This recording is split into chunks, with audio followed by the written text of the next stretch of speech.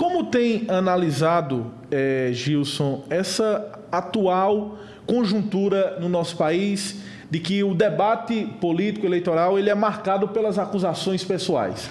Olha... Se nós trouxermos aqui para Paraíba, praticamente todos os municípios existem acusações, não do ponto de vista de projeto de governo, de plataforma, mas sim da vida pessoal de determinado candidato, de determinada candidata. Como é que Gilson analisa e vê toda essa conjuntura? Olha, eu fico muito decepcionado. Digo a você, eu, eu fui de uma, de uma geração muito diferente da sua, que é um jovem, da do Petson e dessa meninada que trabalha hoje aqui na, na TV Diário no Sertão.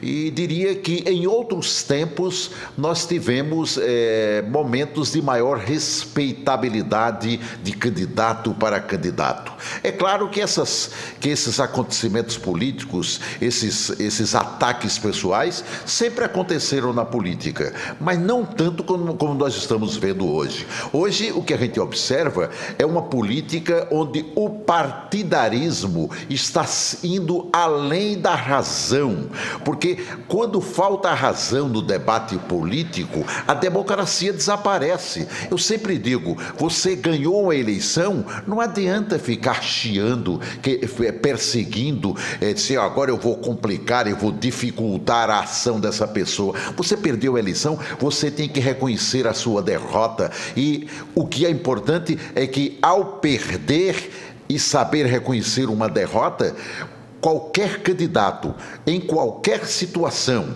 municipal, estadual ou de âmbito federal, deve torcer para aquele, aquele que vai comandar os destinos de uma cidade, de um estado, de uma nação, possa desenvolver um bom trabalho. Aqui que nós estamos vendo hoje, no país, por exemplo. No país a gente vê uma briga partidária, cada um querendo aparecer mais, dificultando a ação eh, governamental. E olha aqui, eu não estou aqui defendendo, eu estou defendendo defendendo um dirigente, por exemplo, de república, um exemplo que eu estou dando, como eu defendo também um dirigente de Estado, no caso da Paraíba, que em ganhando a eleição, meu filho, então vamos acabar com brigas que não acrescentam nada e lutar por uma, por uma coisa, para que esses dirigentes, em âmbito federal, em âmbito estadual e em âmbito municipal, possam desenvolver um bom trabalho.